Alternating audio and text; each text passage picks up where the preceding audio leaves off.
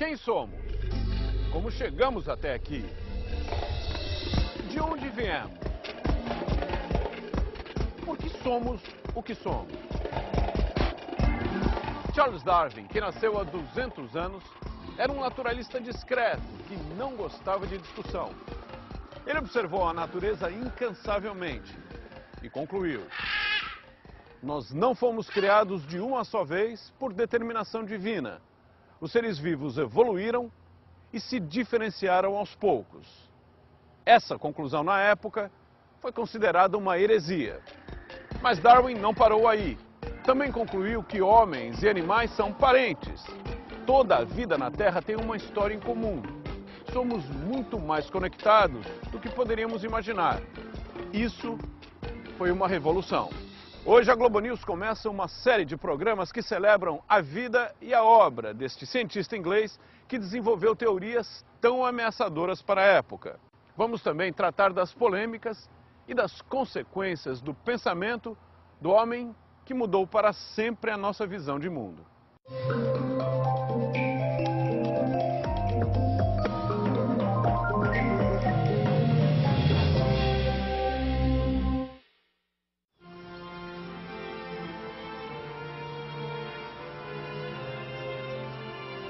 Esta casa é um antro de subversão. Ou foi 200 anos atrás, quando aqui viveu, pensou, trabalhou e teorizou um cientista britânico chamado Charles Darwin. A casa, na região de Kent, leste de Londres, entrou para o patrimônio histórico inglês. Subversão, sem dúvida, porque foi nesta casa que Darwin organizou suas ideias.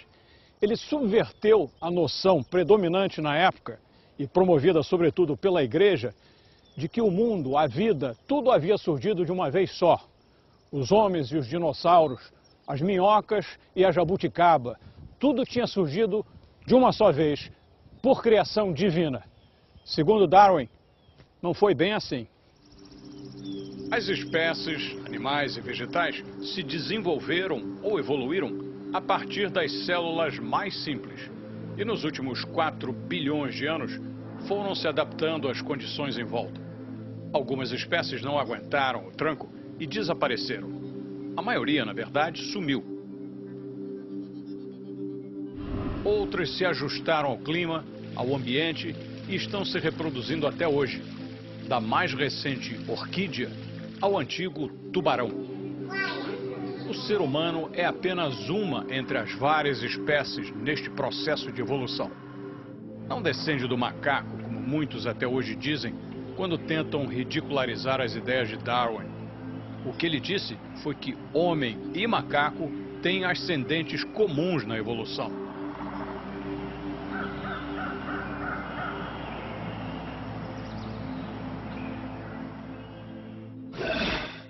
Janet Brown, da Universidade de Harvard, biógrafa de Darwin, comenta a reação exacerbada à teoria do ancestral comum, que ficou conhecida como Guerra dos Gorilas. After The Origin of Species was published, there was a terrific debate, of course, about the possible ape ancestry of humans. And one of the amazing things that uh, coincidentally happened was that the gorilla, the animal, the gorilla, became much more known to Westerners through that same period and was incorporated very dramatically and rapidly into these debates. Many, many individuals felt that the animal was so primitive, so bestial, so uh, aggressive that it could not be an ancestor for humans. We know different now, that they're not aggressive at all and that they are very closely related to us. O filósofo americano Daniel Dennett explica que Darwin mostrou a dimensão exata e limitada do homem no universo. I think I think there have been uh, several great demotions in human self-perception. Uh, uh, Galileo and Copernicus uh, put us as on a planet revolving around the sun rather than as the center of the universe with everything revolving around us. Astronomy has shown that we are a tiny speck our star is one out of billions of stars in the Milky Way, which is one out of billions of galaxies. We are the tiniest imaginable insignificant speck in the whole universe. And Darwin shows us that we're just lucky to be on a planet that for over four billion years has had the right conditions for life to evolve. And we're the current manifestation of life. It won't go on forever. A obra maior de Darwin foi esta, sobre a origem das espécies. Na época, foi considerado um livro meio difícil quando o editor recebeu. Na verdade, o editor nem queria publicar, virou para o Darwin e perguntou: Mas por que você não escreve sobre pombos? Todo mundo gosta de pombos. O Darwin, na ocasião, já tinha decidido que ele precisava publicar rápido, porque percebeu que outras pessoas estavam chegando na teoria dele e insistiu na publicação. O editor acabou cedendo e desde então o livro nunca mais parou de ser vendido. A primeira edição, de 1.250 exemplares, foi toda vendida em poucos dias. Não significa que quem comprou o livro gostou do que leu. people before him had tried to do the same thing but in lesser terms and I think what Darwin did had a huge impact on everybody not only in the sort of gentleman scientific world but for the lay people of Victorian England as well. I mean what he was saying um, pretty much negated everything in people's religious beliefs so it had a huge impact on people. He was living here and his wife Emma and the kids around. His wife was very religious, very mm. traditionalist in, in that sense, and this is Victorian England we're mm -hmm. talking about. To what extent do you think the delay that he uh, imposed on himself mm. to re review his theories was based on the fact that his wife would probably be shocked by it, as she was? Mm. I don't know whether it was Emma's influence and presence that had a direct influence on the delay of him publishing his theory. But I think certainly it was a source of tension between them, not overt tension as we would have today, but certainly um, before they got married there was an exchange of letters between them and Emma was very concerned about his thoughts and theories even at that point in the 1830s. Um, so I think uh, although Emma's presence and, and her being Darwin's wife didn't delay it exactly, I'm sure that Emma's religious beliefs did have an effect on how Darwin went about um, pursuing his theories. I think his wife did not repress Darwin's ability to think about religion. She was, of course, religious, but they managed in their married life to keep their belief systems relatively separate. Were, it was not a divisive uh, issue between them. Ex-estudante de teologia na Universidade de Cambridge, quase seguidor de uma carreira na igreja, Darwin esbarrou em fatos e descobertas científicas que abalaram sua crença religiosa. A morte de sua filha Ana aos 10 anos contribuiu para sua perda de fé. It was not so much that the child died, it was the suffering beforehand, that this was a terrible way to die. And it's absolutely clear that Darwin was um, devastated and never really recovered from this.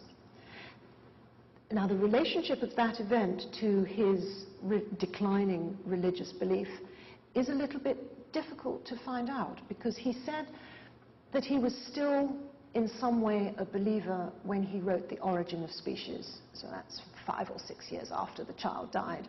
But I think it's absolutely clear that he broke all formal connection with the church on the death of this child. Quando conheceram as ideias de Darwin sobre a evolução, que dispensava a intervenção divina, muitos de seus amigos religiosos as rejeitaram. There were some religious figures, some of whom were very dear friends of his, who simply couldn't accept it. They just stood back and recoiled and said, this is atheism. This is terrible. And to a large degree, Darwin had expected some of that response. He was hurt, he was distressed, but he had expected to be criticized. more interesting for Darwin were those theologians who were able to go halfway, who were able to say to him, if you allowed a God to set the evolutionary process into action, then I could easily espouse this view. Seu próprio mentor em Cambridge, John Henslow, professor de botânica que lhe ensinou tanto sobre a natureza, era um homem muito religioso. Cientistas que examinaram com detalhes as pesquisas de Darwin destacam a importância do trabalho minucioso dele durante muitos anos na coleta de dados sobre plantas e animais para poder fazer comparações. This is a, a, tree collected in Bahia in 1832. He was under orders to collect everything, right? So he collected massive quantities of rocks, of, of, of animal skins, you know, bird skins, for example, plants, uh, sent them all back to Cambridge in four large trunks. And Henslow, to Henslow. So all, everything came to Henslow. Henslow then kept the plants for himself, and you can see these are actually, it means Museum of Henslow. This is a single genus called Scalesia, and this one, for example, was named Scalesia after him, after Darwin. So that's Scalesia, darwinii. Yeah. And this is, these are first collected by Darwin. And what Darwin did when he went to the Galapagos, for because he knew that Henslow was interested in the plants that were unique to oceanic islands, like the Canaries is one area, Cape Verde Islands was another, the, he collected everything in flower on the Galapagos. So he, he, had, he made a special study of the Galapagos. And it was seeing this range of material, which is all one genus, and you can see how different it is. And they come from different islands too, you see. James Island. Um, unfortunately, we uh, in our arrogance, renamed all the islands of the Galapagos. British names. This is Santa, yeah, and they're all named for admirals in the British Navy. Galapagos was, a, was an eureka moment for him. No, I don't think he had a eureka moment. What he would be, it was, Darwin wasn't that kind of person. Mm. Darwin was a meticulous collector of everything. And what he was thinking about when he saw this was the patterns of variation he was seeing what Darwin gradually realized was, well, maybe these things are not varieties, maybe they are incipient species, new species emerging. The Darwinian view of the world is to look at it this way, in which it's branching up into the classic tree way, in which, you know, from the ground as a single thing growing and the branch is growing upwards. Este material daria sustentação sólida às suas conclusões de que a natureza é uma guerra entre espécies, vegetais ou animais, e que as mais fortes e mais adaptáveis são as que sobrevivem. Quando as espécies se reproduzem, fazem cópias de si próprias, nem sempre idênticas, pois ocorrem mutações ou desvios que criam variedade. Darwin chamou isso de seleção natural. Chegar às conclusões de Darwin em meados do século XIX com conhecimento limitado sobre o assunto na época, foi nada menos do que revolucionário. Darwin só decidiu publicar sua teoria depois de receber uma carta enviada da Ásia por um naturalista compatriota. Alfred Russel Wallace colheu 100 mil variedades de animais e plantas em viagem por várias partes do mundo, inclusive a Amazônia brasileira, e extraiu de seus estudos uma teoria que se identificava com o que Darwin havia concluído. E as ideias de Wallace? Darwin teria plagiado? He didn't take anything from Wallace. Nothing at all. Wallace did nothing except arrive at the same conclusion. Darwin had already written it all down. He'd got, he'd then, by the time he came to publish The Origin, it was based on 17 years of accumulated wisdom. O próprio Wallace jamais questionou a primazia de Darwin. Darwin era um dos seis filhos de um médico rico. O pai se convenceu de que a medicina não estava no futuro de Darwin e o encaminhou para Cambridge a fim de estudar teologia. Darwin acabou trocando a igreja pela natureza. O futuro do naturalista começou a ser traçado quando Darwin recebeu uma carta de seu professor Charles Hansland, comunicando que tinha indicado seu nome como acompanhante em uma viagem para muito além das praias inglesas. Um capitão britânico de nome Robert Fitzroy tinha uma viagem planejada pelo mundo, saindo daqui do sul da Inglaterra. Durante vários anos, ele iria percorrer vários países e recolher amostras de plantas, de animais, fósseis, rochas. O excêntrico Fitzroy, que tinha 23 anos, contratou então Charles Darwin, que tinha 22. Depois ele diria que contratou Darwin porque gostou da forma do nariz dele. De qualquer maneira, os dois que estavam a serviço da grande potência científica da época, a Inglaterra ou o Reino Unido, partiram em viagem a 27 de dezembro de 1831, a bordo do navio que iria se tornar famoso, o Beagle.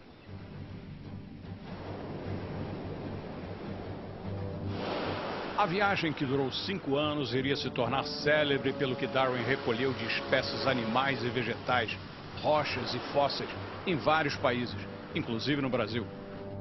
Não foi fácil a convivência de Darwin com Fitzroy. O capitão era o que hoje chamaríamos de ciclotímico, bipolar, tinha altos e baixos no comportamento. Precisava de alguém junto para não cair em tentação suicida.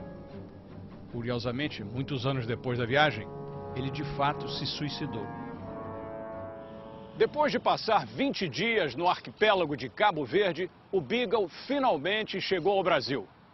Antes de atracar aqui no Rio de Janeiro, ele passou por Fernando de Noronha e pela Bahia. E na Bahia, Darwin teve contato pela primeira vez com a floresta tropical. Ele entrou na floresta e depois escreveria em seu diário: A floresta, nem sei para onde olhar.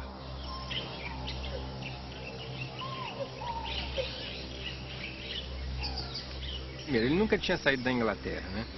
E é a primeira vez que ele vem aos trópicos. Ele já tinha lido, a obra do Humboldt, estava relendo de novo também. E é, ele chega, ele fica completamente abismado com o que ele vê. Ele, ele para para ele escutar a chuva. Ele nunca viu nada igual. As cores são completamente diferentes. As epífitas, as plantas que mais chamam a atenção na, na passagem dele aqui também no, no, Rio, né? Já que bromélias são plantas só do, do continente americano, né? Então ele fica é, verdadeiramente admirado com tudo que ele vê aqui. Essas aqui são algumas das árvores que o Darwin possa ter visto naquela ocasião, quando ele relata o que ele viu aqui. Era um jardim botânico muito jovem ainda, então a ideia era um jardim de aclimatação de plantas e essa aqui, por exemplo, é o cravo da Índia né? Que era muito utilizado na época que não tinha geladeira, né? Para se temperar tudo, com sal, pimenta, cravo, tudo temperava-se. Tem frutapão, ele ficou admirado também com a, sombra da mangueira. Ele diz lá no relato dele que ele não imaginava que uma, uma árvore pudesse ter uma sombra tão escura como é uma sombra de uma, de uma mangueira, né? Que ela fecha, com, as folhas fecham completamente a passagem de luz se tem tem uma mangueira muito bem formada, a sombra realmente dela é muito escura. Ele também, como todo naturalista, prestava atenção nas relações humanas, nas relações do país com seus habitantes. E ele falava que a escravidão era a pior coisa que tinha no Brasil. E ele reclamava dos, do, dos portugueses, inclusive do, até fisicamente mesmo, dizendo que os negros tinham um porte mais, mais elegante, eram é, de, de, uma inteligência maior, né? Até, e ele ele tinha muita preocupação com isso. Ele era de uma família muito liberal, né? Porque, inclusive, ele viu em alguns momentos coisas de, de, até um pouco de tortura. Aqui no Rio mesmo, e ele falava que as mulheres eram muito cruéis. Lá na, na Fazenda Sossego, em Conceição de Macabu, onde ele ficou mais tempo, ele, ele foi para lá com os ingleses e um desses ingleses tinha, tinha vários escravos. E ele dizia, e, e numa discussão com, com um, um, feitor lá, né, com capataz, esse cara queria separar ó, as famílias e vender os homens para um, um grupo e as mulheres e as crianças para o outro. Ele achava aquilo de uma crueldade enorme, né? Quando o Beagle tornou a zarpar da costa brasileira, em seu caminho de volta para a Inglaterra, Darwin observou. nós finalmente deixamos a costa do Brasil. Eu agradeço a Deus que nunca visite novamente uma nação escravocrata. Do Brasil, o Beagle seguiu viagem pelo resto da América do Sul e faria uma escala-chave nas Ilhas Galápagos, que pertencem ao Equador. Ali, Darwin teve a atenção captada pela pequena variação entre espécies de plantas e pássaros em ilhas vizinhas. Ele interpretou as variações como resultado de adaptação às condições de cada ilha. Anos depois, Darwin concluiria que as variações mais apropriadas à sobrevivência de cada espécie acabariam se impondo e passando às gerações seguintes. Ao contrário de algumas interpretações populares, Darwin não teve uma revelação instantânea em Galápagos e ali estabeleceu a teoria da evolução das espécies, como um momento eureka de descoberta. Darwin entregou suas amostras de animais, plantas e fósseis às sociedades científicas britânicas e prosseguiu em sua vida pacata de estudos, sobretudo depois de se casar e mudar para a casa de Kent, onde teve dez filhos, perdeu três deles e ficaria lá até morrer. Todo dia depois do almoço, Darwin dava uma caminhada por essa trilha. Era a hora que ele se dedicava a pensar sobre o que estava estudando, trabalhando, pesquisando.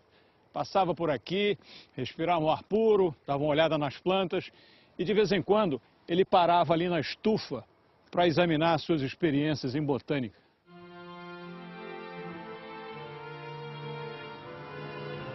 Em Kent, Darwin percorria o jardim onde gostava de lidar com plantas e minhocas. Sim, adorava minhocas. Tocava até piano para elas e escreveu um livro sobre minhocas. Darwin ficava muito em casa, até porque vivia doente. Alguns especialistas hoje acham que ele poderia ter adquirido doença de Chagas na América do Sul. Ele foi juntando anotações em casa como conta-gotas, até publicar suas controvertidas conclusões 150 anos atrás. Morto em 1882, Darwin recebeu finalmente a homenagem de seu país com um privilégio concedido a poucos: um túmulo na abadia de Westminster, em Londres, ao lado de Isaac Newton e de outros heróis britânicos.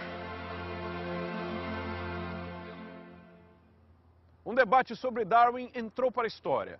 Ocorreu durante um debate da Associação Britânica para o Progresso da Ciência, um ano depois da publicação do famoso livro de Darwin.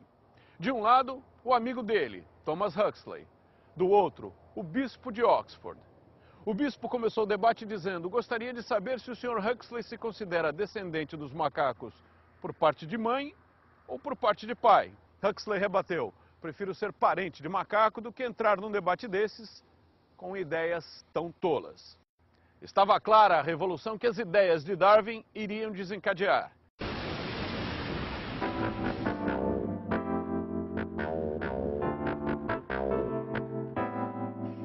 A asa de um morcego e a barbatana de um peixe-boi são tão parecidas? Por que besouros marrons se reproduzem mais do que os verdes? Como é possível que um molusco seja antepassado dos dinossauros e dos homens? É o que você vai ver aqui na Globo News em mais este programa sobre Charles Darwin, o naturalista inglês que desvendou os segredos da natureza, da origem de todas as espécies e fez a igreja tremer quando afirmou que o homem é apenas mais um dos animais que povoam a Terra.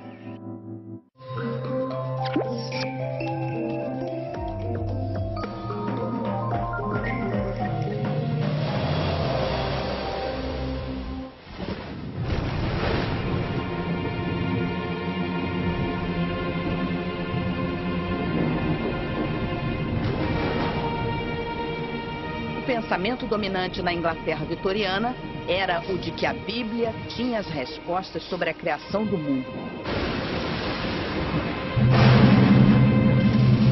Tudo já estava pronto e nessa ordem imutável das coisas, as pessoas não eram consideradas parte do mundo natural, estavam fora e acima dele.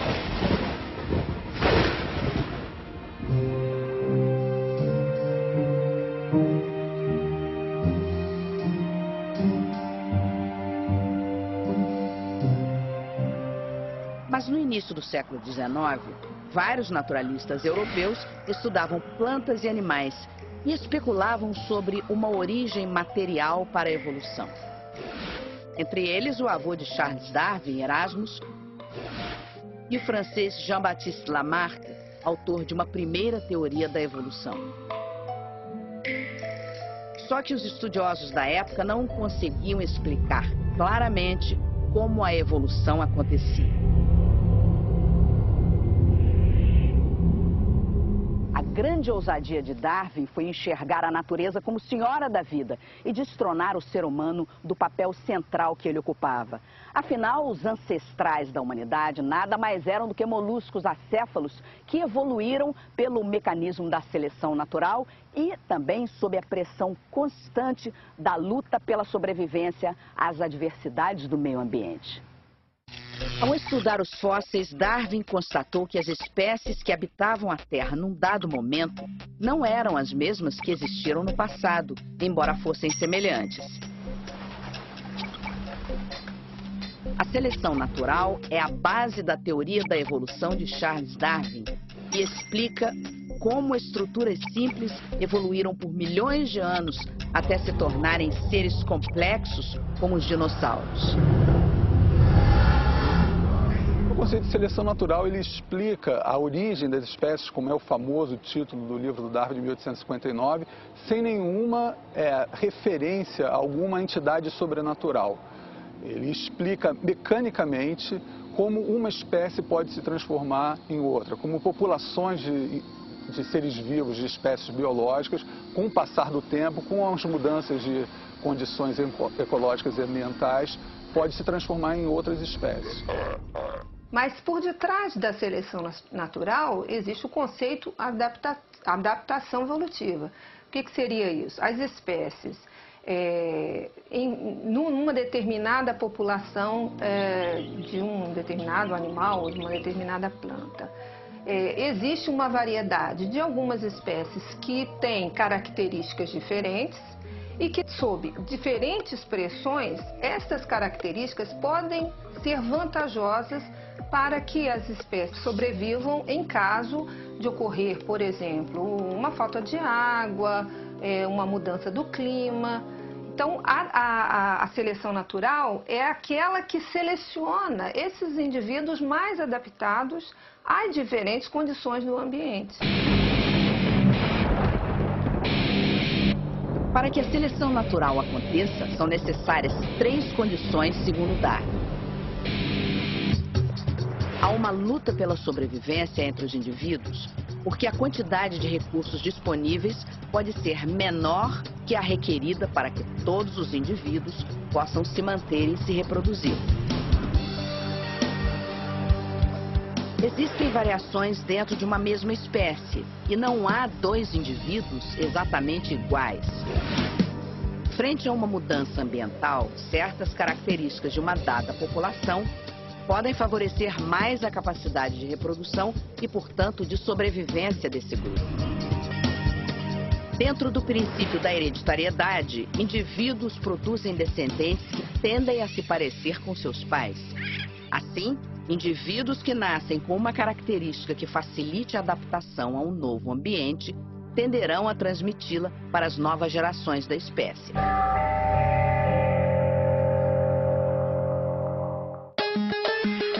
Veja um exemplo simplificado do processo de seleção natural de besouros.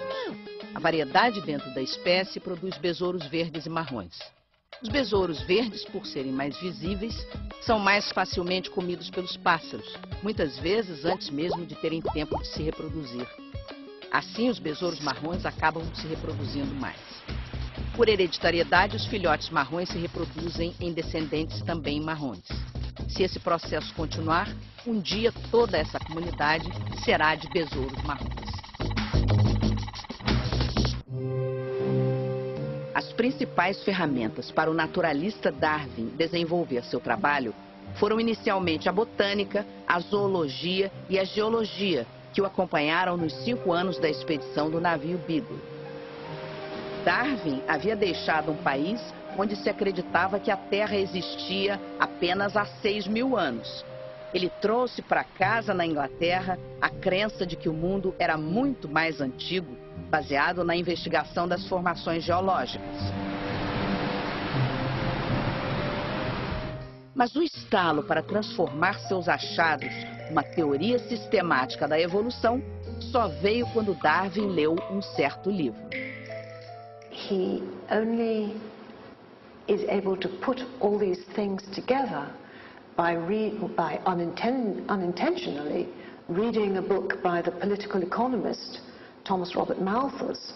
In Malthus's essay on population was the statement that populations always increase and the food supplies never increase as rapidly as the population, so there will be a crisis point, and those who um, are best equipped to, to survive will be the ones who survive.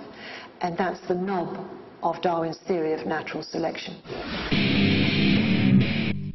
Darwin percebeu que animais e plantas também podem ser vítimas de pressões populacionais. Daí a sua conclusão. Indivíduos adaptados ao ambiente têm maior probabilidade de sobreviver, se reproduzir e passar as suas características aos seus descendentes. Darwin percebeu que havia um grupo específico de pássaros com tamanhos, cores e bicos diferentes. Os pequenos tentilhões variavam de acordo com as condições do clima e da qualidade das sementes e frutos com que se alimentavam. Darwin não despertou logo para a importância do seu achado. Só depois, na viagem de volta, foi que se deu conta que, provavelmente, os 14 tipos de tentilhões poderiam derivar de uma mesma espécie. Mais tarde, as diferenças entre os bicos indicariam que um grupo de tentilhões maiores vivia em ilhas mais secas e só se alimentava de sementes mais duras, enquanto outros de tamanho menor faziam ninhos em ilhas mais úmidas e com muito mais comida. Veja, por exemplo, o que aconteceu com esses três mamíferos. A asa do morcego, a pata da toupeira e a barbatana de um peixe-boi compartilham semelhanças. A partir de um mesmo ancestral, cada um se adaptou de acordo com o meio em que vive.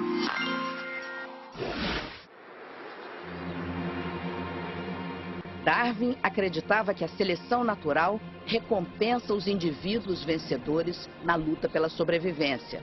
Um conceito que dá margem a interpretações discutíveis.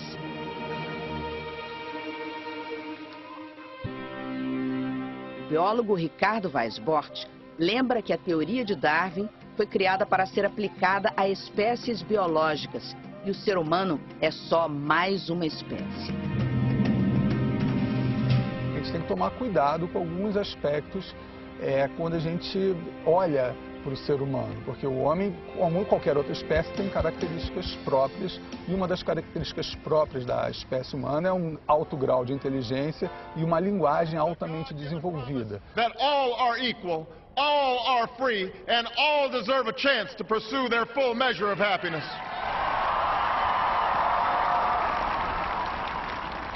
De uma certa forma, o darwinismo foi sim apropriado por algumas tendências filosóficas e políticas no sentido de mostrar que o homem branco europeu era superior em relação ao negro, ao, ao não europeu de uma maneira geral, outras raças de uma maneira geral. Isso, do ponto de vista político, social, é muito perigoso e levou a verdadeiras atrocidades, como a gente está meio cansado já de, de saber.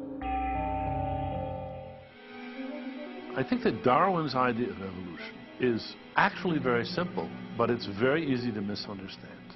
He sets it out very clearly at the end of chapter 4, The Origin of Species. He says, if there's any difference at all between the individual members of a species at a time, then some of them will be more favored than others. They're, they will be healthier, stronger, better equipped to have offspring than others.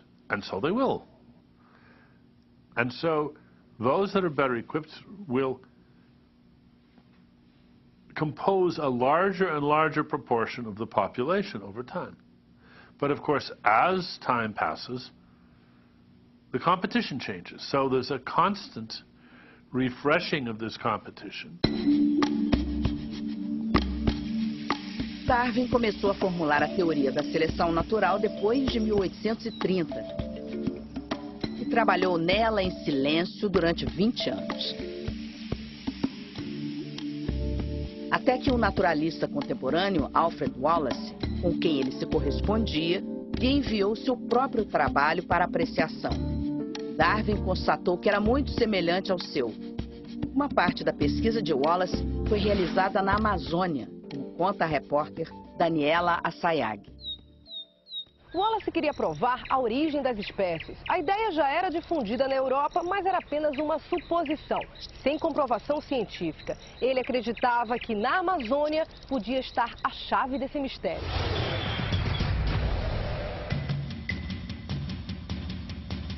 ...1848, Belém do Pará. O experiente Henry Bates estudioso de insetos, havia sido convencido pelo jovem Alfred Russel Wallace que aquela expedição poderia revolucionar os trabalhos científicos da época. Na Amazônia, Bates e Wallace ficaram quatro anos, os dois primeiros no rio Amazonas, entre Belém e Manaus. Em 1850 se separaram. Bates seguiu pelo rio Solimões e Wallace pelo rio Negro. A percepção apurada e o talento para o desenho ajudaram na elaboração deste mapa, o primeiro da região, rico em detalhes. Wallace subiu e desceu o Rio Negro quatro vezes, coletando insetos, peixes e plantas. Ele percebeu que quando grupos da mesma espécie se afastam, eles começam a apresentar características diferentes. Isso aqui na Amazônia? Na Amazônia, ele observou isso principalmente com macacos ao longo do rio. Ele viu que quando a margem era mais afastada, populações de macacos de uma margem eram diferentes da população da mesma espécie de macacos da outra margem. Mas ele não tinha mais material para provar isso, porque todo o material que ele coletou aqui pegou fogo no meio do mar e afundou. Perdeu tudo só não perdeu, a única coisa que ele não perdeu foram as anotações que ele tinha no livretinho e alguns desenhos que estavam na cabine dele quando o navio pegou fogo. O próprio Darwin respeitava o Wallace como pesquisador. Eles se correspondiam e trocavam ideias. Somente hoje, mais de um século depois, Wallace está tendo reconhecido o seu valor histórico e científico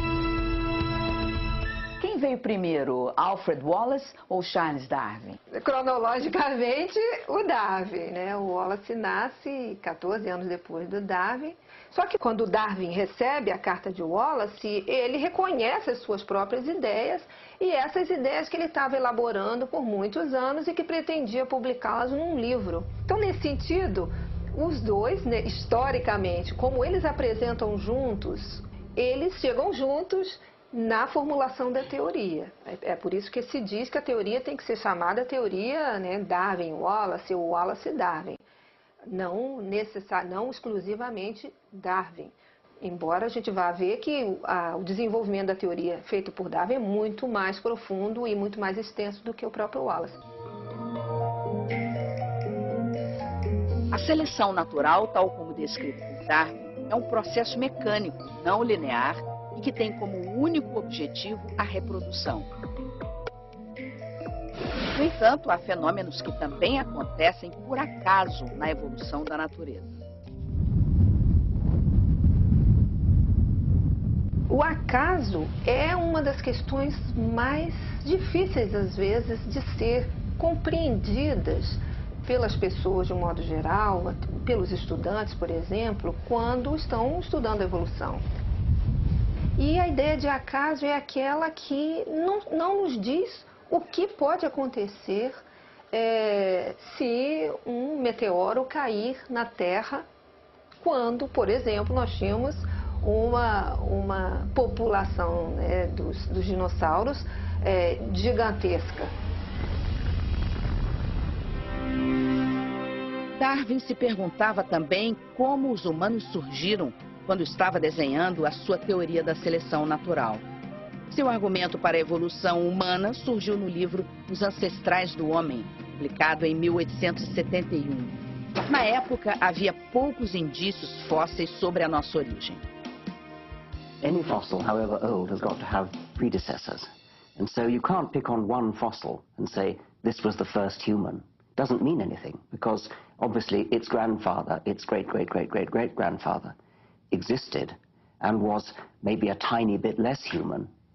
But there is no uh, one moment at which in the succession of ancestor descendants leading towards us, you could suddenly stop and say, right, from now on they're human. Darwin comparou os humanos aos grandes macacos e logo aconteceu uma confusão. O homem vem do macaco. Mas essa ideia é do naturalista Lamarck.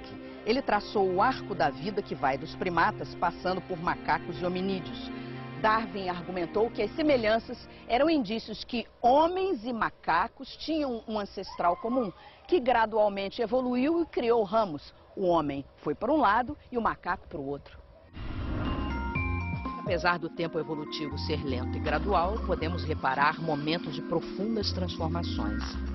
A passagem da vida na água para a terra, o retorno para o mar de alguns dos mamíferos terrestres, o aparecimento dos seres humanos.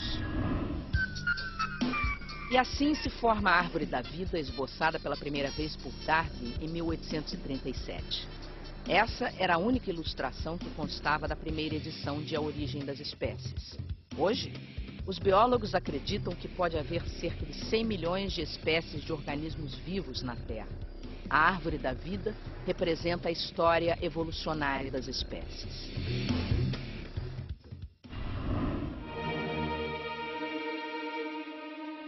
Já no fim da vida de Darwin, a teoria dele começou a perder força, porque ele não conseguiu provar como é que funcionava o mecanismo da hereditariedade. There were aspects that he got wrong, and genetics you pinned down the, the one major thing he did get wrong, that he uh, accepted the genetics of his day, which was a kind of blending substances model you, you had a certain amount of genetic substance from your father and a certain amount of genetic substance from your mother, and they were kind of poured together into you, so you ended up in some unexplained way intermediate. Uh, and it was already clear in Darwin's own lifetime that that actually couldn't be right, because if it was, each generation would be more uniform than the previous generation. You'd, you'd get a, a loss of variation. And after a few generations, we'd all look exactly the same. We'd all be a sort of medium um, appearance. So something like Mendelian genetics almost had to be true. And that was discovered in Darwin's lifetime, as you know, but he didn't know about it. Suas ideias foram então consideradas como ideias especulativas, como uma teoria mas não uma teoria que estivesse empiricamente sustentada, que tivesse fatos que pudessem comprová-las, mas mais do que isso, que tivesse um arcabouço teórico-metodológico para dar sustento a ela. E isso realmente ocorre né, em, no final do século XIX, é, a, a, genética é criada, é fundada a genética, e esses, essa redescoberta de estudos feitos por um, por um um abade, né, o Gregor Mendel, vai trazer uma nova, um novo direcionamento à teoria evolutiva. Darwin era contemporâneo de Mendel, que enviou várias cartas nunca respondidas. O Abade descobriu leis fundamentais da genética em seu próprio jardim ao fazer o cruzamento de variedades de ervilhas, Mendel percebeu que elas carregavam um fator que transmitia as informações hereditárias, como num código. Trata-se da molécula de DNA, presente em todos os organismos conhecidos. A evolução por seleção natural é um fato bem estabelecido. E a prova final veio com ah, os estudos do genoma né, humano e do genoma dos outros animais, que mostram como que os genomas são parecidos. Então mostra essa unidade da vida, um único ser vivo há 3 bilhões de anos, evoluindo e gerando todas as formas de vida que estão no planeta hoje. Podemos agradecer à seleção natural por sermos descendentes dessa criatura de 5 centímetros que viveu há 530 milhões de anos. O Picaia gracilens é considerado o mais antigo ancestral de todos os vertebrados. E nessa categoria estamos você e eu. A inovação dele foi um cordão nervoso que corria ao longo do corpo, paralelo ao tubo digestivo. E por isso, ao que tudo indica, ao longo de milhares de gerações, a boca ganhou uma nova função. E isso explica por que beijar é tão bom.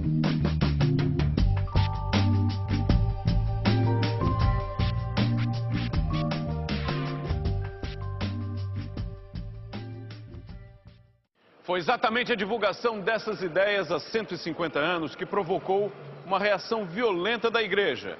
Ainda hoje, a questão entre ciência e religião não está resolvida. O pensamento de Darwin continua sendo visto como uma ameaça por grupos religiosos que lutam até na justiça para impedir o ensino do evolucionismo.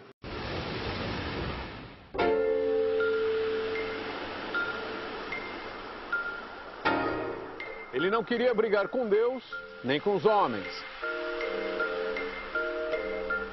Mesmo assim, 150 anos depois de publicar o livro A Origem das Espécies, Charles Darwin ainda irrita quem leva a Bíblia ao pé da letra.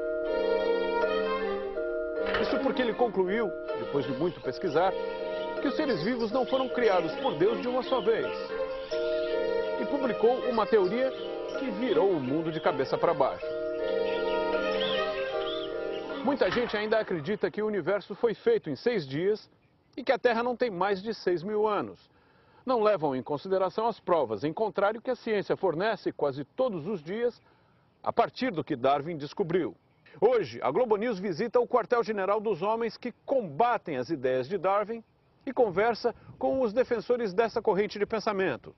Mas antes é melhor relembrar o que Darwin pensava e como chegou à teoria da evolução por seleção natural.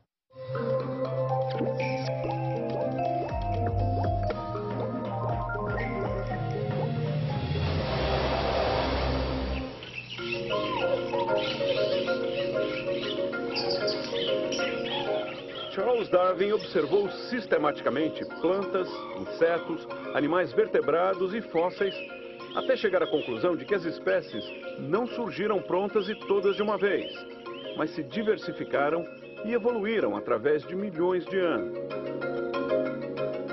Estou completamente convencido de que as espécies não são imutáveis e que aquelas pertencentes ao que chamamos de mesmo gênero são descendentes diretas de uma outra espécie, já extinta.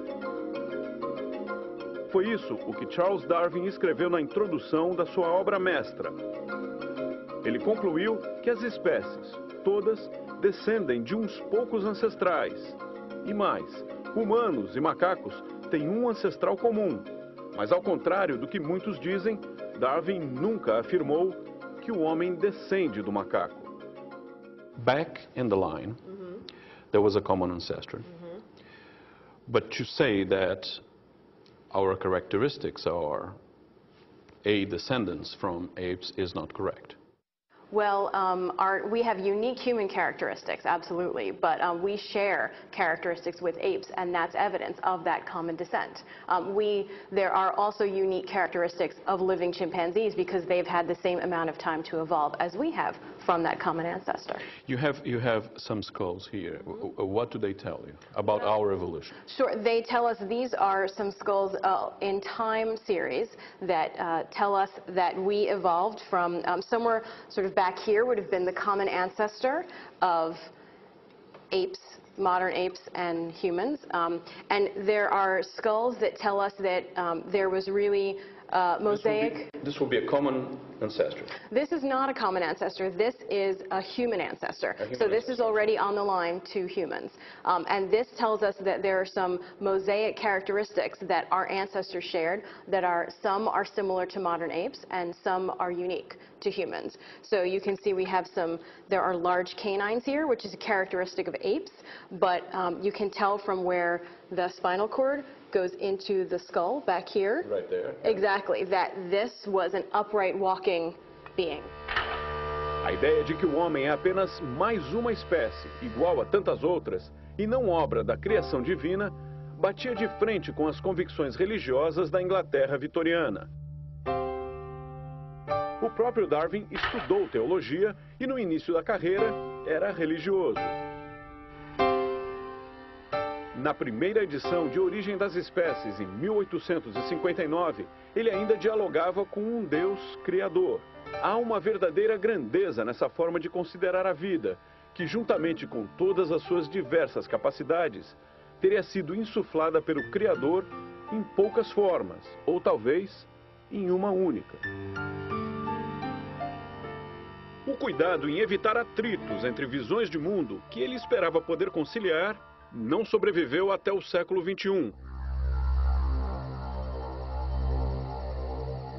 Opositores ferrenhos de suas ideias criaram uma fortaleza anti-evolucionista, o Museu da Criação.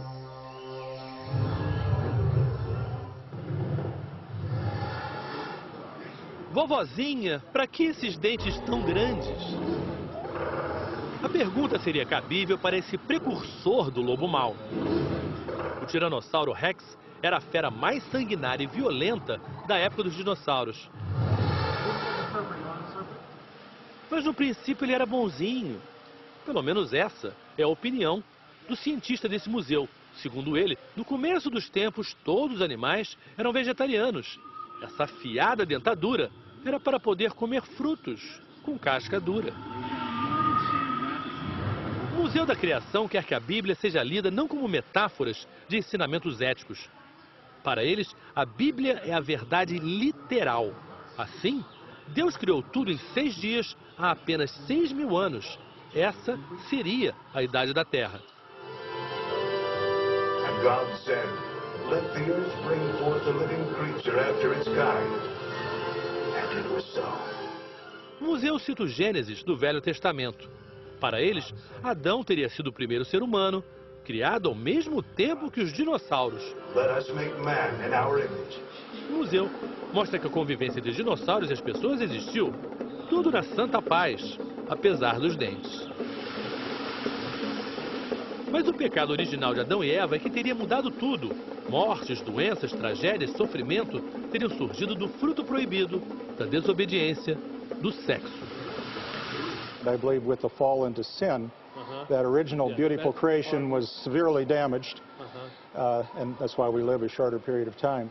I have survived 969 years, but my time is nearly over. Matusalém teria morrido com 969 anos. Adão, com 930.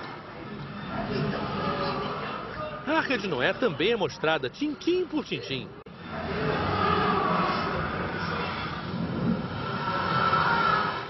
O dilúvio teria matado tudo e todos que não estavam na arca. Não é explicado por que tantos animais sobreviveram e os dinossauros, tão grandes e poderosos, desapareceram. Nesse museu é assim. Fatos que não são considerados adequados são descartados de acordo com a conveniência dessa crença. Um museu desse convence alguém? I think the majority of people that come through here are Christians and they want affirmation for their faith. They want to see that the evidence lines up with that, and we're here for them as well. Darwin, é claro, ao explicar o mundo em termos naturais, torna menos necessárias explicações sobrenaturais. E passa a ser um inimigo cujo pensamento precisa ser rejeitado por essa corrente religiosa. Corrente que entre os americanos é muito, muito influente. Entre os países mais desenvolvidos, os Estados Unidos estão sozinhos como o único lugar onde a teoria de Darwin ainda é considerada controversa. O debate é feroz nesse início do século XXI, como foi no final do século XIX. Muita gente achava que o fundamentalismo religioso iria diminuir ou até mesmo desaparecer com as descobertas da ciência. Mas isso foi um erro. Pode-se mesmo dizer que foi um erro de proporções bíblicas. O Museu da Criação abriu no Kentucky em 2007 e custou 27 milhões de dólares. Tem a aparência de um museu de ciência de verdade. Pode-se mesmo brincar de entrevistar um tiranossauro. enquanto estados americanos estão construindo versões do mesmo. O efeito geral impressiona e atende a cerca de um terço da população americana que crê nessa Bíblia literal. Num país onde mais de metade das pessoas acreditam em fantasmas, não causa espanto que o criacionismo tenha recebido tanta atenção. A grande maioria dessas pessoas é cristã protestante.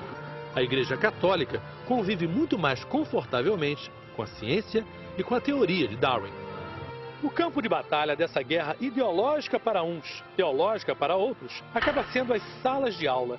Por três vezes, Darwin e a teoria da evolução se viram envolvidos em julgamentos. A primeira vez na década de 20, quando um professor de biologia, John Scopes, foi julgado e condenado por ensinar a teoria da evolução. O advogado de acusação tinha sido três vezes candidato à presidência. Soa familiar? O último julgamento foi em 2005, mas dessa vez o juiz considerou ilegal o ensino do criacionismo em escolas públicas, por não ter nenhuma base científica. Mas escolas protestantes como essa, que são particulares, praticam um tipo de ensino da Bíblia que não permite dúvidas, questionamentos, a própria essência do que é ciência. Nesta aula, Darwin é descrito como um cientista que se equivocou, que brigou com Deus por razões particulares. What key event led to Darwin turning his back on God. What was a key event that we believe? Kara, can you tell us? When his daughter died. Yeah, tragic death of his daughter at 10 years old. And what was the thing, Susan, that he really wrestled with, Darwin? Hating God. Yeah, but why did he hate God? What was his reason for turning his back on God? Because he felt that he shouldn't take away a child. It has a few points, but it is not adequate for explaining how life began and how we have humanity as it is. But do you think the Bible provides all these answers? Yes. As crianças são apresentadas a uma visão de um mundo apocalíptico, onde tudo é ruim e só existe uma salvação. There's a sinful nature of man. All right? A sinful nature of man. I, I did not have to teach my two children that they're sinners. I did not have to teach them to look at daddy and say, no. Mm-hmm. That came pretty natural mm-hmm. on their own. Mm-hmm. All right? Because there is an innate sinful nature that the book of Romans talks about that every mankind is born with.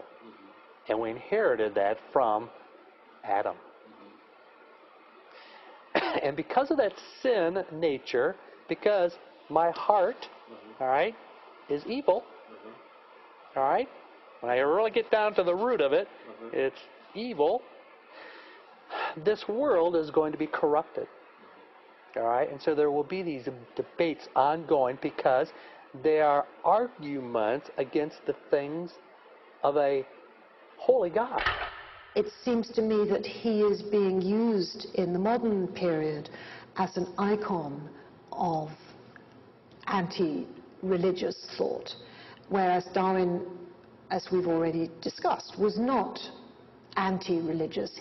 All Darwin was saying was that the natural world needs to be explained by natural processes. I myself can see these movements panning out across the globe and I can stand back and I observe them and find them interesting and stimulating. It's much more dangerous and much more difficult if you are one of those people who is not being taught evolutionary theory, for example, or who's being taught something completely different. Then you get to university and you find what you know is not, is not right. God has a destiny for the state of Alaska. Master's Commission is one of the keys in God's plan for Alaska, the United States, and the entire world. Este vídeo faz parte da propaganda de Sarah Palin como governadora do Alasca. Palin estava numa reunião na igreja pentecostal em que o Alasca foi anunciado como refúgio para o fim do mundo.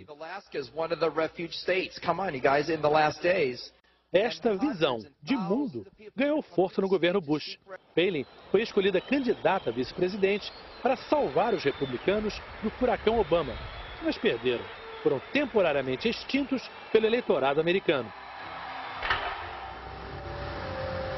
Em muito menor escala, o criacionismo chegou ao Brasil, como mostra a repórter Beatriz Tillman.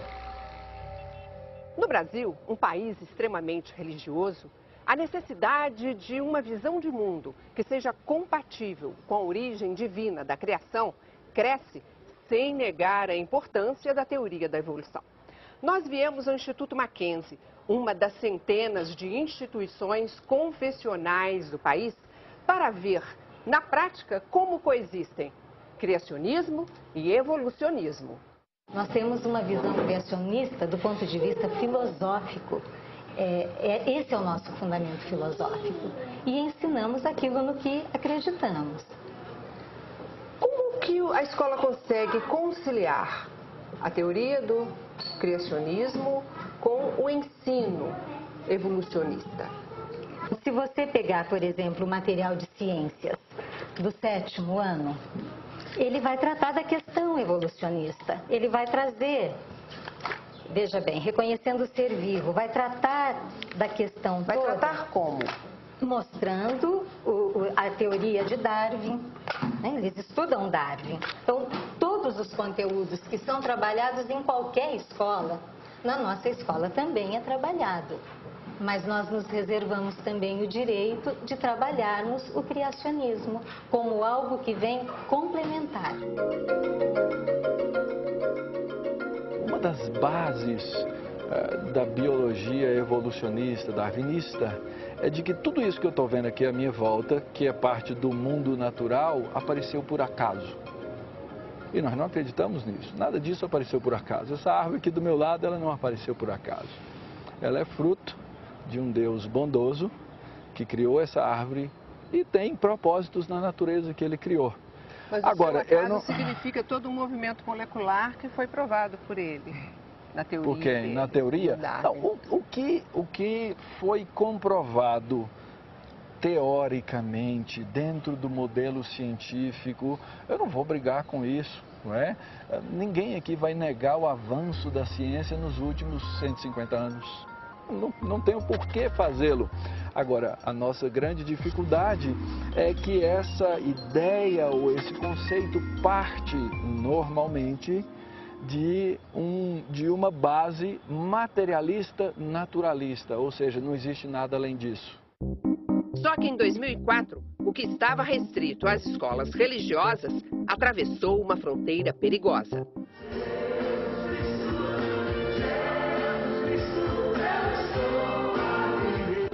então governadora do Rio, Rosinha Mateus, evangélica, conseguiu por lei que o ensino religioso fosse obrigatório nas escolas estaduais. Foram muitas as reações contrárias, mas até hoje a lei existe, embora não seja aplicada por toda parte. Em vários outros estados do Brasil aconteceu a mesma coisa, com a diferença que nas aulas de religião não se tentava impor uma visão criacionista. Precisamos renovar todos os dias a nossa fé.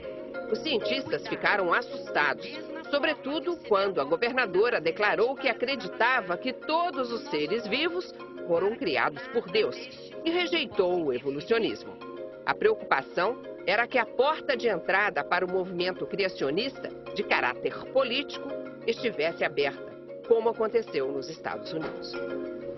As instituições particulares, como o Instituto Mackenzie, organizam encontros internacionais de criacionistas. O nosso silêncio, o meu silêncio, tem permitido o uso da ciência na catequese materialista das nossas últimas gerações. O darwinismo, ele enquanto se preocupa com a questão da, da microevolução, ou seja, que os seres vivos passam por um processo de adaptação no meio ambiente, é, é totalmente comprovado. Nós não temos absolutamente nenhuma dificuldade com isso.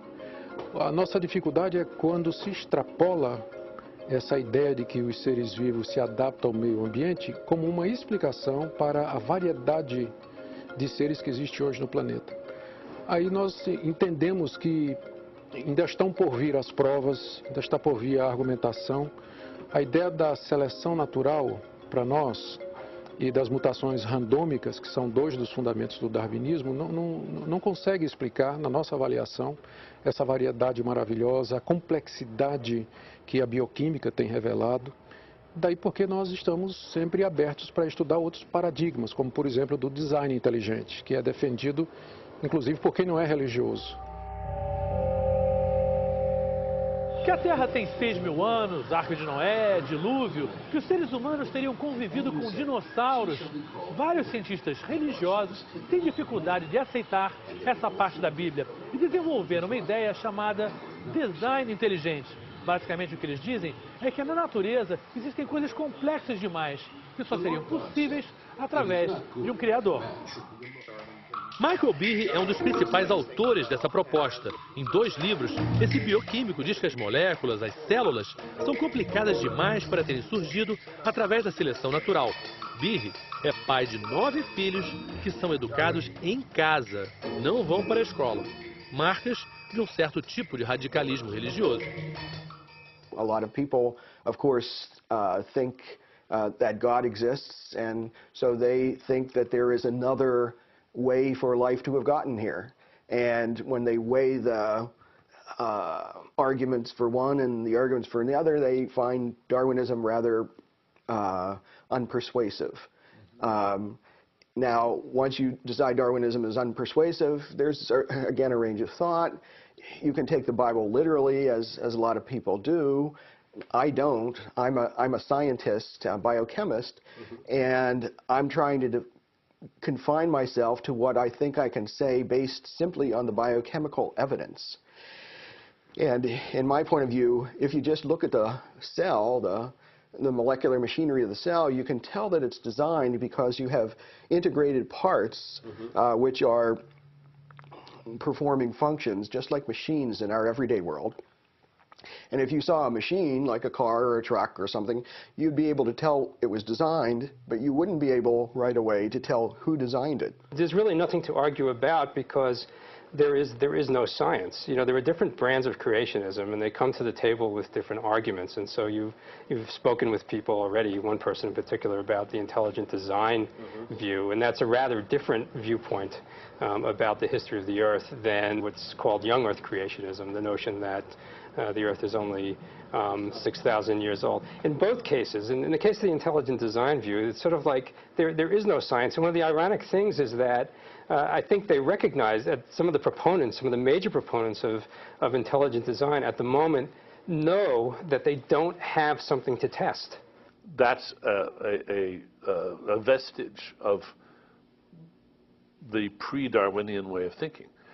I guess I feel that if somebody finds it comfortable, more comfortable, to say, oh yes, I accept the theory of natural selection. I accept that along with physics and mathematics and so forth. But I find it comfortable to believe that God somehow, and this is mysteriously, I can't understand this myself, is responsible for uh, fixing the parameters of this universe so that this happens, I guess I view that as a, uh, a relatively venial, not mortal sin. It's, it's, it's a, a gratuitous idea. Uh, and if they think about it carefully, they will realize that if that's what God does, then, and if that's all that God does, then God doesn't answer prayers. God doesn't intervene to make evolution happen. God is just the master of ceremonies. That's all. Para a ciência, Darwin, a evolução, é uma história de progresso. Sair de uma forma simples, primitiva, até se transformar num ser humano. Num país como os Estados Unidos, com o maior número de prêmios Nobel do mundo, as melhores universidades, que colocou o homem na lua, que inventou a internet, é como se com o passar do tempo se pudesse mesmo se ver, se viver uma evolução. Os criacionistas dizem que sofrem uma nova inquisição. Se sentem perseguidos, sem direito a divulgar suas ideias. Os evolucionistas não querem conversa, se negam a debater com o que não consideram ciência. Com ou sem diálogo, a produção intelectual dos homens que colocam Darwin no banco dos réus cresce. Por ironia, é exatamente no campo das ideias, na mente, que, de acordo com os neodarwinistas, se dá hoje a evolução humana. Evolução ou extinção? O que o futuro reserva para o ser humano? Somos parte de um processo que está em constante movimento, mas para onde ele nos leva? Neste último programa sobre o autor da origem das espécies, vamos tratar dos limites do homem hoje, dois séculos depois do nascimento de Darwin. Algumas das fronteiras, engenharia genética, o superdesenvolvimento da comunicação e a nossa intervenção radical no meio ambiente. Vamos investigar como será o nosso futuro como espécie e as mudanças que estamos provocando no planeta que nos abriga. Até onde vai o nosso poder de alterar as leis da seleção natural.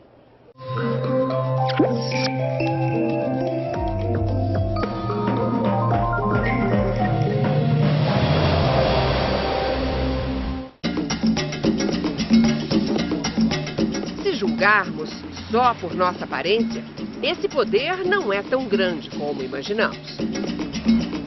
Biologicamente, o homem de hoje se parece muito com aquele de 150 mil anos. Será que já paramos de evoluir? As I often say, if I were to get on the London Underground system in Camden Town, in London, which is where we now are, which is a fairly rough part of town, a lot of drunks and so on in it, um, and if a Cro-Magnon man, a very early modern human, was to come and sit next to me on the tube, I really wouldn't notice.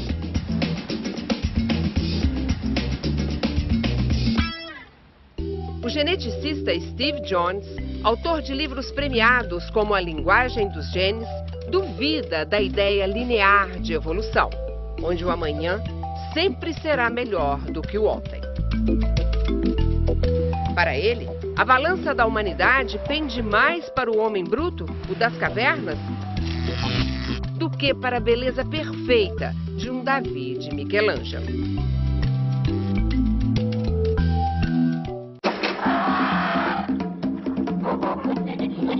O homem das cavernas ainda nos rodeia. Aparece de relance quando nos olhamos no espelho. Ele está nos pequenos gestos de uns, na maneira de andar de outros.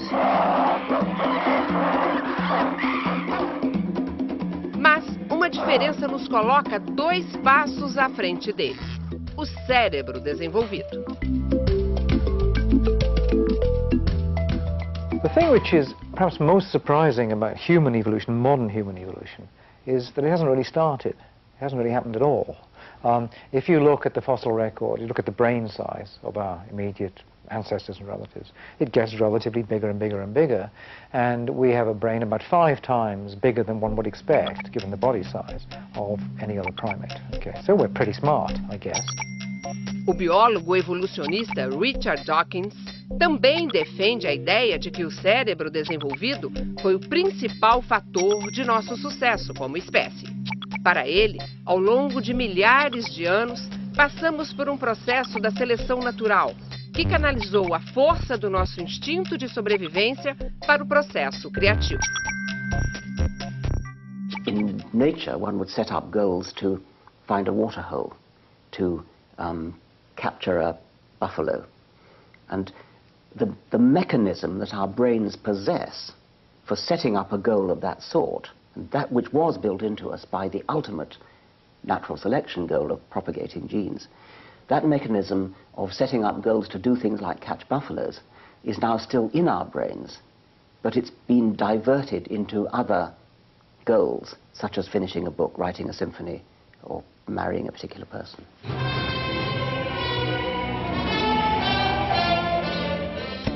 O neurocientista Richard Restak diz que hoje já é possível mapear a região que define por que somos o que somos.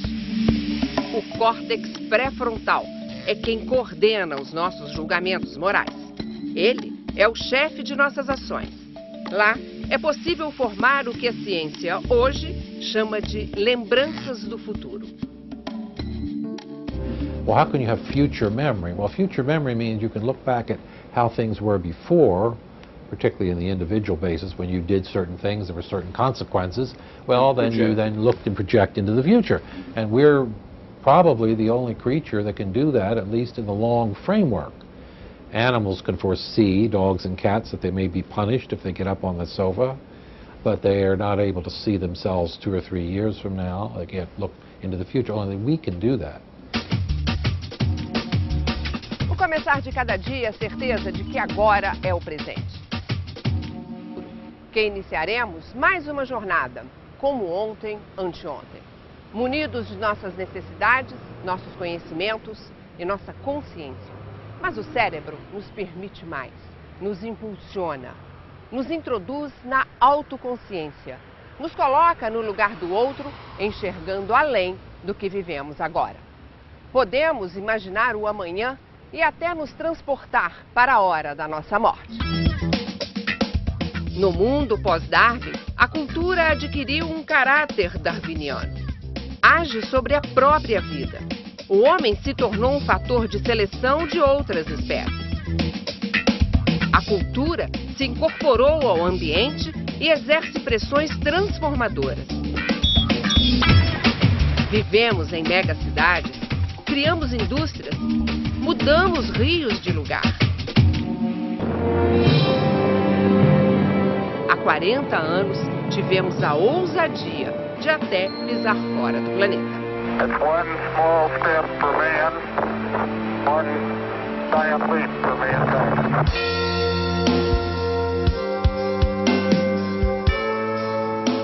Será que esses grandes feitos nos dão o direito de acharmos que somos mais complexos? Que estamos prontos? Que somos uma obra perfeita da evolução? Quem é que diz que nós somos realmente mais complexos? Nós somos realmente mais complexos? Que uma bactéria, eu poderia concordar que sim, nós somos porque nós temos mais partes integradas do que uma bactéria. Mas quando você compara a gente com um golfinho, será que nós somos mais complexos? Esses animais têm um monte de coisa que nós não temos. A gente tende a achar que o que a gente tem é o mais importante. Mas isso é só uma preferência que depende do observador. Ao olhar para trás, parece impressionante ver o caminho que já percorremos. Driblamos as leis da evolução como nenhuma outra espécie ousou fazer. Quando a natureza nos colocou à prova, fomos capazes de domá-la. Se fomos castigados com nevascas abaixo de zero, construímos abrigo. Nos vestimos com peles de animais descobrimos o fogo. Se o problema era a falta de alimento, aprendemos a arar o solo e criamos a agricultura. Inventamos a linguagem, a cultura. Nos organizamos em sociedade. Fundamos o que conhecemos como civilização. Hoje em dia, eu diria que a evolução cultural é muito mais importante do que a evolução biológica para a espécie humana, para nós. E, ah, e nós mesmos fazendo, quer dizer, por exemplo, a medicina, a medicina, basicamente, ela permite que pessoas que há, há alguns séculos atrás certamente morreriam na infância, sobrevivam. Então, de uma certa maneira, ela está agindo como uma força que está bloqueando e eliminando os próprios efeitos da seleção natural biológica. Né? A evolução cultural também faz com que a tecnologia, a cada dia, descortine mais e mais os mistérios que nos rodeiam. Alguns pesquisadores dizem que em breve deixaremos de ser Homo sapiens para atingirmos uma nova classificação. Seremos o Homo futuris?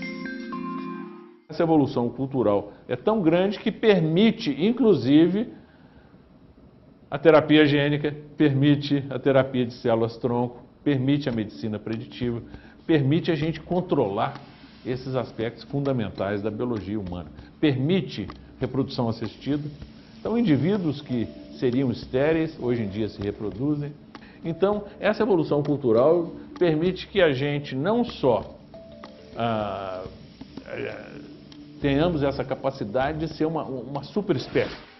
Mais de 100 anos depois de Darwin, dois pesquisadores, James Watson e Francis Crick, chegaram ao modelo da espiral do DNA. Um fato digno de um prêmio Nobel. Foi essa descoberta, seguida dos estudos genômicos, que puseram o selo final de verdade científica na evolução natural pensada por Darwin.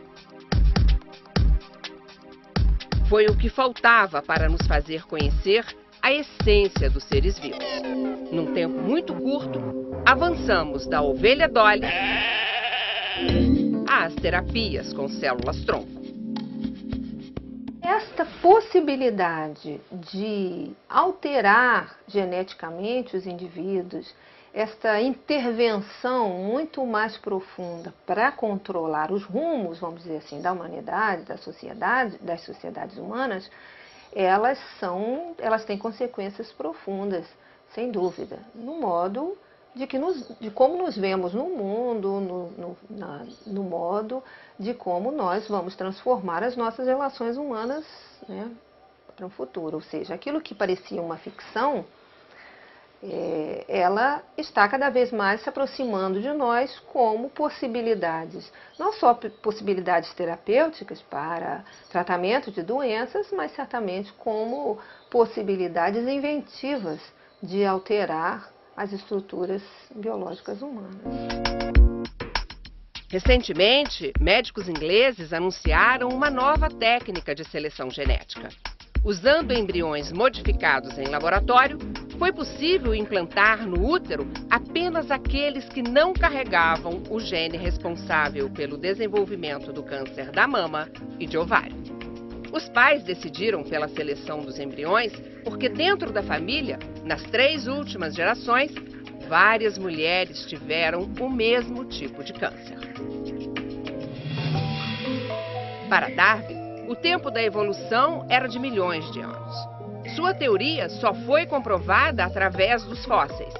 Com eles, foi possível determinar as mudanças entre espécies a partir de um ancestral comum. Hoje, podemos ver a evolução acontecendo numa fração de segundos, algumas vezes dentro de nós mesmos. Existem coisas que a gente pode ver evolução ah, ah, quase em tempo real. Ah, uma delas, por exemplo, é ah, o vírus da AIDS. O vírus da AIDS, por causa do mecanismo de replicação dele, ele, é, ele sofre mutações continuamente e, uh, e então ele tem uma capacidade de se adaptar para o bem ou para o mal, né? Quer dizer, no caso, para a gente seria para o mal. The HIV virus is the most notorious example, of course. It keeps changing, very rapid, because virus, two reasons. Viruses have a very quick generation turnover. They also carry very little baggage, as it were, they depend a lot on the organism they're living in for all, all the repertoire that one needs for living. They don't carry their own baggage along with them. And so they don't have to reproduce that from generation to generation, and they can just leave that and evolve in the bits that they need to evolve in in order to avoid whatever it is we're trying to throw at them. Well, that's natural selection. That's evolution. Absolutely. In Absolutely. Action. In action. We can sadly watch it all too well. Commander Klingon vessel. We are energizing transporter beam. Now. Em mim, nesse momento, vivem 30 trilhões de bactérias. Se eu for teletransportado daqui para lá, que nem Jornada nas Estrelas, sem as minhas bactérias, eu vou morrer. Nós somos uma teia só. Então, a compreensão é, de que a humanidade faz parte de uma teia da vida, num sistema finito, coisas que o darwinismo é indispensável para que a gente possa entender e que a tecnologia não é capaz de expandir essas fronteiras é, indefinidamente. Evoluir cientificamente, ter o poder de alterar as consequências da seleção natural. Conhecimento que hoje é prática comum mundo afora. O homem pode tornar uma espécie útil mais produtiva, fazê-la crescer em menos tempo e gerar herdeiros com características escolhidas. Será que esse é o caminho natural das coisas? Ou estamos adaptando a lei da evolução em benefício próprio? Somos apenas uma entre as espécies. Assim diziam as descobertas de Darwin. Mas estamos provocando um impacto comparável ao choque de um asteroide contra a Terra em termos de alterações ambientais. Tudo em um curto espaço de tempo.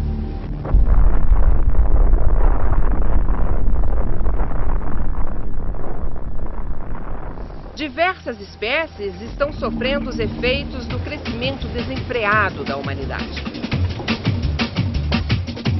Atingimos o impressionante número de 6 bilhões de pessoas.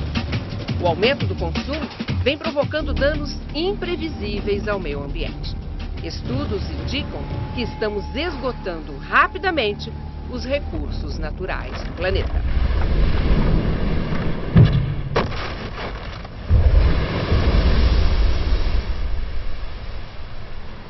The main difference between what's happening now and what's happened in the past in extinction is that this is immensely rapid, the extinction, and it's far, far more rapid than has ever been known in the past.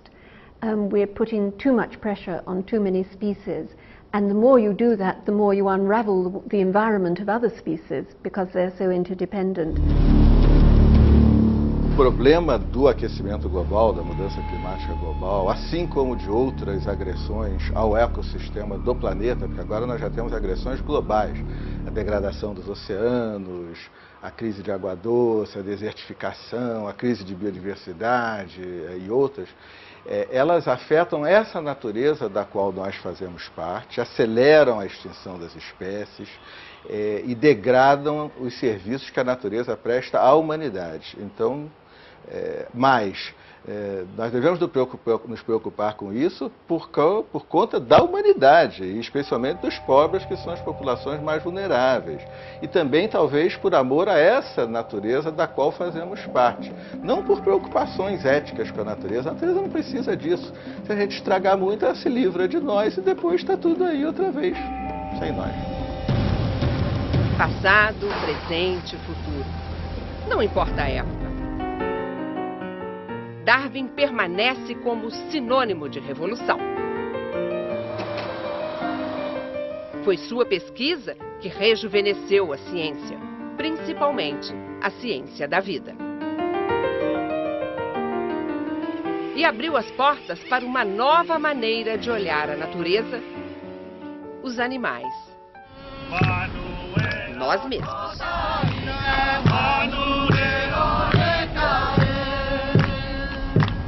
Consigo pensar em algo que possa obscurecer a teoria darwinista, a teoria da evolução. Eu acho que essa teoria é uma teoria tão potente que, é, que nós vamos, nós como humanidades, a comunidade científica, vai continuar estudando ela por muito tempo. E, e eu não vejo como vai parar de estudá-la, porque na verdade o que a torna mais potente são os desafios que temos para não só para explicar os mecanismos evolutivos, mas para conduzir as pesquisas que nos mostrem não só as respostas que nós chegamos, mas as novas perguntas que nós vamos fazer.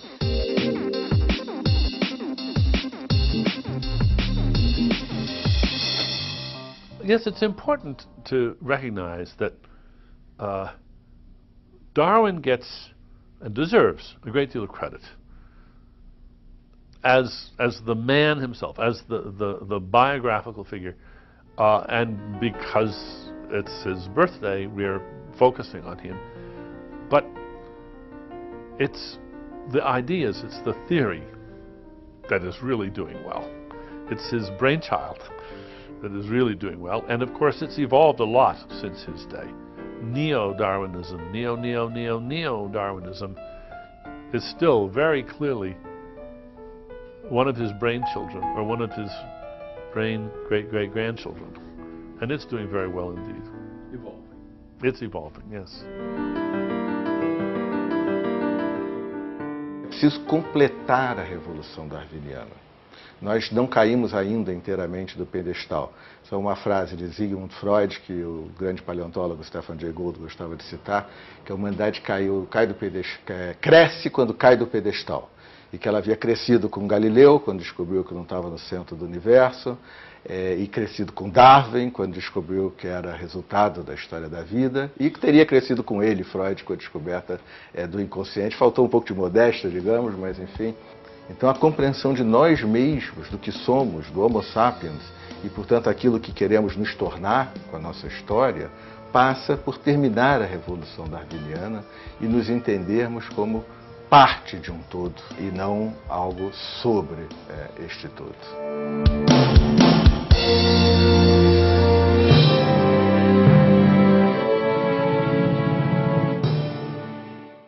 150 anos depois da publicação de A Origem das Espécies, o homem é mais darwiniano do que nunca.